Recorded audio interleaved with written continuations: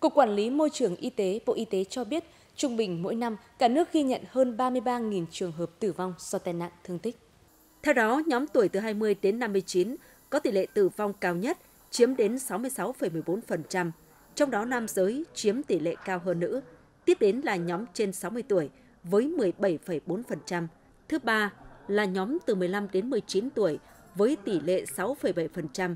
Trong đó tai nạn giao thông là nguyên nhân hàng đầu, tiếp đến là đuối nước, tự tử, tai nạn lao động, điện giật.